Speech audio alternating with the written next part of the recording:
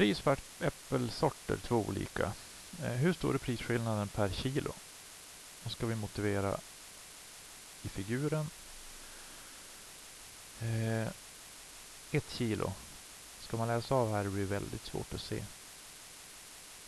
Så här är det bra att ta någonstans längre bort och kolla till exempel 10 kilo. 10 kilo kostar 160. 10 kilo kostar 220. Så på 10 kilo så är prisskillnaden 160 till 220. Det är 60 kronor. Det betyder att på 1 kilo så är det 6 kronor. Så som sagt, jättesvårt att kolla här på 1 kilo. Ta längre bort om det går.